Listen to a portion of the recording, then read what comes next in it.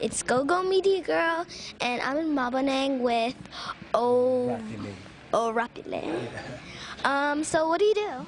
I am a fashion designer. Basically, I am a businessman, but then I've started with fashion just to branch out to more other business.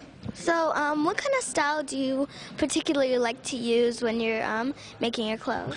Okay, basically, our brand is uh, mostly on South African um, inspirations. Well, not really inspiration, celebrations. So everything is about African craft, but mostly I do high end pieces, which is like your high fashion and um, couture pieces, yeah.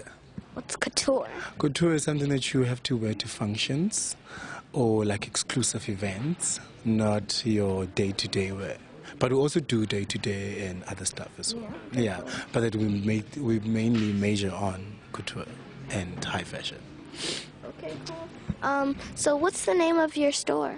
The name of the brand is Orapile Modutle Style Avenue. How'd you come up with that? Oh well, it basically is because I mean, what we do, we don't really just do clothes for people. We do them for personality.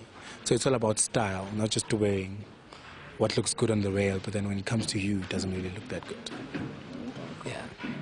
Um, so what skills do you need when you're doing fashion designing? Um, you basically need to know how to sketch and go to school, which is most important because you have to pick up all the skill where they teach you how to do patterns, how to illustrate, and how to construct and cut. Okay, cool. Um, um, so what school skills like reading, writing, math? You say? What school skills like reading and math? No, yeah, well, you will need maths and science to go into university entry.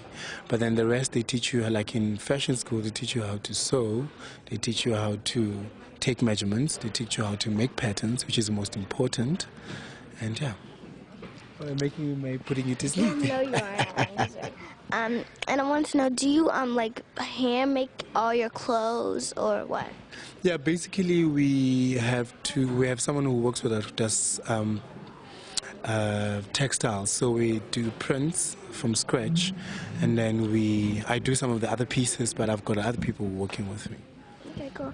And what tips would you give somebody who wanted to become a fashion designer? Um, basically, is that they must follow what they want to do, and they must find out how to do it um, by getting the information on which schools and um, what courses to take from. Because some people, like me, I wanted at first I wanted to do fashion media, but I just didn't know where to go, and then I ended up being a fashion designer, and I liked it. But if I knew what I wanted to do and where to find it, it was going to be easier.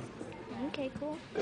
Well, that was Ora Ora Pele and Maboneng and GoGo Media Girl.